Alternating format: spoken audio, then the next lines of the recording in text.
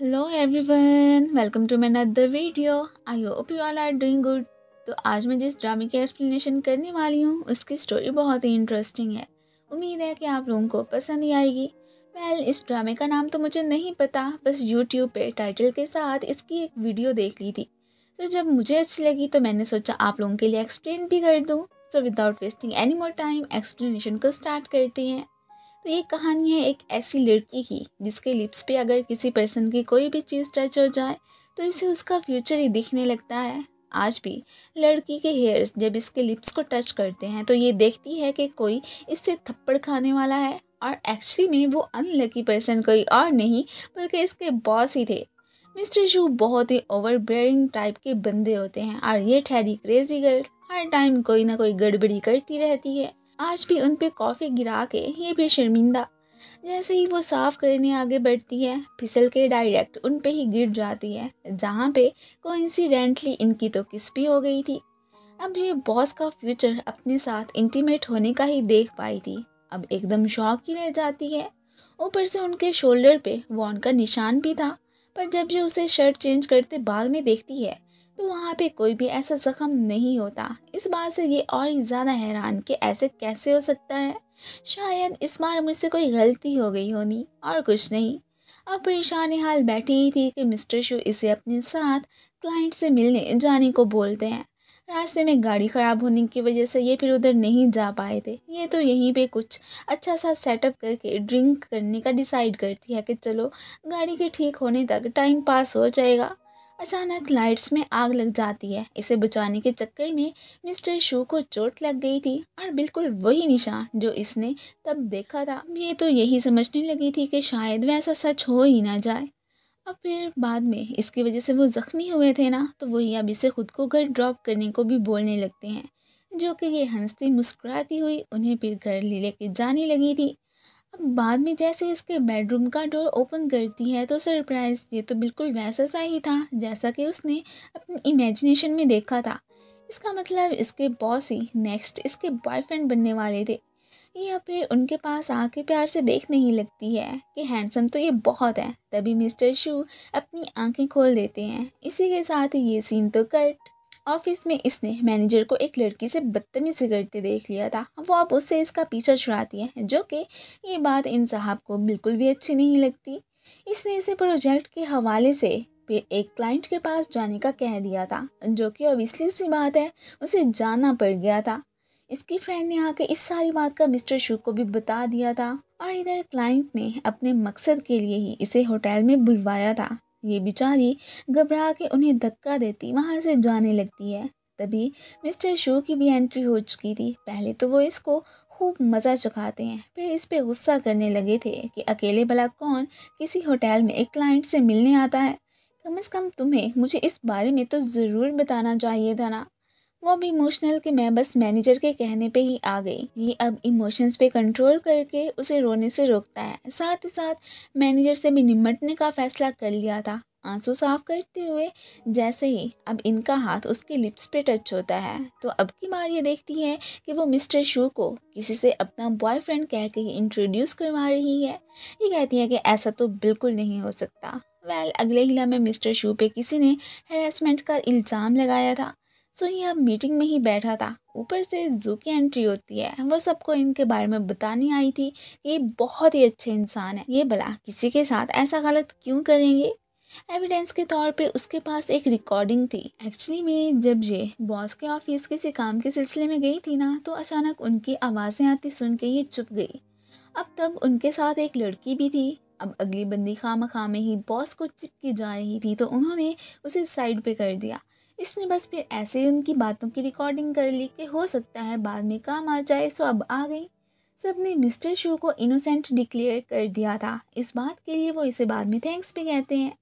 Stair से जाते हुए जब इसका पाँव मुड़ता है तो इससे पहले कि ये नीचे गिरती तो किसी पर्सन ने फिर इसका हाथ पकड़ लिया था। और वो कोई और नहीं, बल्कि जू का एक्स बॉयफ्रेंड वे था। उसे देखते ही ये फिर अपनी पुरानी यादों में खो जाती है। इसने खुद ही पास्ट में वे से ब्रेकअप किया था क्योंकि इसे पता चल गया था कि फ्यूचर में ये उसके साथ नहीं होगा। सो so, रिलेशनशिप बढ़ाने का क्या फ़ायदा? ऊपर से जैसे ही मिस्टर शू आते हैं या फिर उन्हें अपना बॉयफ्रेंड कह के ही वे से इंट्रोड्यूस करवाती है कि अब तुम मुझे फॉलो मत करना। फिर बाद में काफ़ी ड्रंक भी हो गई थी। इसी दौरान अपने सीक्रेट का बॉस को भी बताने लगती है कि मैं लोगों के फ्यूचर देख सकती हूँ। वो ये बात मज़ाक में डाल देते हैं कि बस टल्ली होने की वजह से ये ऐसी बहकी बहकी बातें कर रही है और कुछ नहीं। इसने तो खैर बॉस को वे समझ के किस भी कर ली थी। वेल वो आगे से कुछ नहीं कहते। अगले दिन खुद को उनके घर में पा के शौक के, ओह नो, अब बॉस मेरे बारे में क्या सोचते होंगे? पत्नी रात को मैंने कितनी उल्टी सीधी हरकतें की होनी तभी डोर बैल सुन के ये तो वहाँ से छुप जाती है। अब इधर कोई और नहीं, बल्कि मिस्टर शू की मम्मी ही आई थी, जो कि इन्हें कज़न की शादी में इनवाइट करने के साथ साथ अब फाइनली कोई गर्लफ्रेंड बनाने का ही मशवरा दे के जाती हैं। ये अब जैसे ही कोई बात करने मिस्टर शू के पास आती है तो वो इससे, इसके सीक्रेट को लेके ही बात करने लगे थे। अब इससे पहले कि वो मज़ीद मज़ाक उड़ाते ये उन्हें किस करके बताती है कि अभी आपकी मम्मी वापस अपना पर्स उठाने आएँगी। अगर ऐसा हुआ ना तो फिर आपको मेरी बात पे यकीन तो करना ही पड़ेगा। और बिल्कुल ऐसा ही होता है। अब मिस्टर शू हैरान के इसका मतलब जू सच बोल रही थी। अपनी जीत पे ये तो बहुत ही खुश होती है। वेल, वो तो अब इसके क्लोज आके अपनी गर्लफ्रेंड बनने का ही से कहने लगे थे, जिसके लिए इसने भी फाइनली हाँ कर ही दी थी। अगले दिन वे मिस्टर शू की ही कंपनी में एक कॉन्ट्रैक्ट लेके आ गया था। जू तो घबराई हुई, वह मिस्टर शू ने उसके साथ काम करने पे हामी भर ही ली थी। बाद में वो जू को बता देता है कि मुझे पता है कि तुम और मिस्टर शू बस रिलेशनशिप में आने का प्रीटेंड कर रहे हो और कुछ नहीं। तुम दोनों एक दूसरे से लव नहीं करते। तुम क्या समझती हो? मैं कुछ नहीं जान सकता। उसके इरादे इसके साथ पैचअप करने के ही थे। तभी शू अब कॉल करके वे को भी अपने घर ही इसे लेके आने के लिए कह देता है। सारा खाना खुद उन्होंने बनाया था और साथ ही साथ वो तो यहाँ पे वे को जू से दूर रहने के लिए भी वार्न कर देते हैं। पर ये बिल्कुल नहीं मानने वाला था कि हम फिर फेयरली कम्पीट करते हैं। जिसे जू ने चूज़ किया, वही विन कर पाएगा और दूसरा खुद ब खुद इस पे गिव अप वो खुद जब इसके साथ डेट पे जाता है तो ये जेलिस खुद से उनकी डेट ख़राब करने की, इसने तो फिर पूरी कोशिशें भी कर ली थी। जैसे ये खाना खाने बैठते हैं वो फिर यहाँ पे जू को कॉल करके अपने पास बुलाता है कि मैं काफ़ी ड्रंक हो चुका हूँ, सो मुझे तुम्हारी मदद की ज़रूरत है। ये भी फिर भागी भागी उन्हें देखने पहुँचती है। वो तो जस्ट नाटक ही कर रहे थे। इसकी अटेंशन पाने के लिए खैर इसे भी एहसास हो जाता है कि वाकई में वह मिस्टर शू को पसंद करने लगी है, वरना यूँ वे को छोड़ के इनके पास ना आती। वो तो यहाँ पे इनकी इस ड्रंक हालत में वीडियो ही बनाने लग गई थी और तभी मिस्टर शू अपनी आँखें खोल देते हैं। इससे पहले कि वो जू को किस करते, ये तो फ़ौरन से उन्हें पीछे धकेल देती है। खैर फाइनली अब इन्होंने उससे अपने लव की कन्फेशन कर ही ली थी कि प्लीज़ तुम वैसे पैचअप मत करना। जू भी फिर इन्हें इनकार नहीं कर पाती। आज से दोनों वाकई में रिलेशनशिप में आ चुके थे। ये अब अच्छे से तैयार होकर ऑफ़िस जाती है। अभी भी उसे शो की पर्सनैलिटी पे शक था। वो समझती थी कि ये अभी भी ओवर और रूड ही है। और ये बात तो शो अच्छे से नोट कर चुका था, इसलिए वो अब उसे उसकी फ्रेंड्स के साथ ही ज्वाइन करता है, जहाँ पे वो इनके साथ इतनी सारी मस्ती करने लगे थे कि अब जू को भी एहसास हो गया था कि वाकई में बॉस बहुत काइंड और घुलने मिलने वाले हैं, वरना ये अपने एम्प्लॉयज़ के सामने ऐसा बिल्कुल भी नहीं करते। इसलिए अब ये बहुत खुश भी नज़र आ रही थी। असल में शो ने जब एम्प्लॉयज़ को वे की तारीफ़ें करते सुना था तो इसे अच्छा नहीं लगा। सो सबके सामने कुल बनने का हक तो खैर अब उन्हें था ही सही। सो उन्होंने ऐसा ही किया। आज का दिन तो अच्छा गुजरा। ऑफ़िस में फ़िलहाल तो ये जू से फिर थोड़ी सी रूडली ही बात कर जाता है, क्योंकि अभी दोनों ने अपना रिलेशनशिप छुपाने का ही सोचा था। कि अगर एम्प्लॉयज़ को पता चल गया तो वो सारे हमारे बारे में क्या सोचेंगे? बाहर ज़रूर दोनों फिर मस्ती वगैरह कर ही लेते हैं। इतने दिनों से ये डेट कर रहे थे। अभी तक किसी को कोई भी खबर नहीं हुई थी।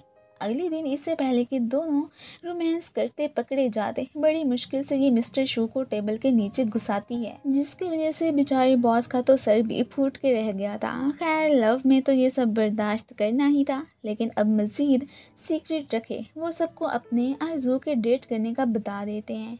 एम्प्लॉयज़ तो ये सुन के कुछ भी उल्टा सोचने की बजाय खुशी होने लगे थे। अब कोई भी लड़की अगर इसके पास आने की कोशिश करती, ये उसे रिजेक्ट कर देते कि मेरी तो ऑलरेडी गर्लफ्रेंड है। अब आखिर को इनका ट्रू लव मिल जो चुका था। सो मिस्टर शू को भला किसी और की क्या ज़रूरत?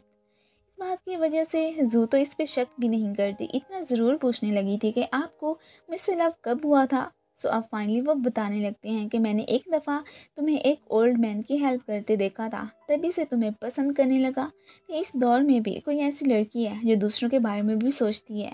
पर बताया तुम्हें इसलिए नहीं कि तुमने फिर एक दिन अपने बॉयफ्रेंड से ब्रेकअप करने के बाद ये ठान लिया था कि अब मैंने किसी से भी लव नहीं करना। फिर किसके बाद मैंने फाइनली तुम तक अप्रोच करने की कोशिश कर ही ली। दोनों फिर अपना टाइम इंजॉय करने वेकेशंस पे भी चले गए थे। मिस्टर शो ने तो चोरी चोरी जू को शादी के लिए प्रपोज करने का फुल प्लान बनाया था कि वो कितना ज़्यादा खुश होगी, इतना सरप्राइज़ दे के।